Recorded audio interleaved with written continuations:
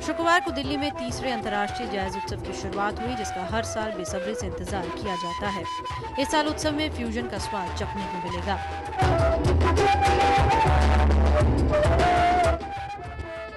रविवार को जैज उत्सव के तीसरे दिन भारत समेत चार देशों, अमेरिका, स्विट्जरलैंड और स्पेन के कलाकारों ने अपनी प्रस्तुति दी।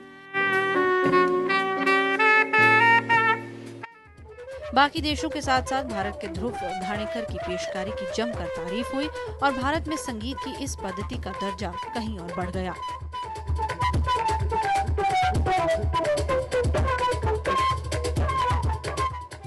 आईसीसीआर द्वारा आयोजित इस उत्सव का मकसद है एशिया, उत्तर अफ्रीका, उत्तर अमेरिका और यूरोप के बीच एक सांस्कृतिक रिश्ता कायम करना। इस उत्सव में पहुँचे दर्शकों को देखकर अंदाज़ा लगाया जा सकता था कि भारत में भी जैज फैंस की कमी नहीं है। 18 मार्च तक चलने वाले इस जैज उत्सव में भारत समेत कई देशों से कलाकार पेशकारी देंगे। Jyotika Grover, DD News, Delhi.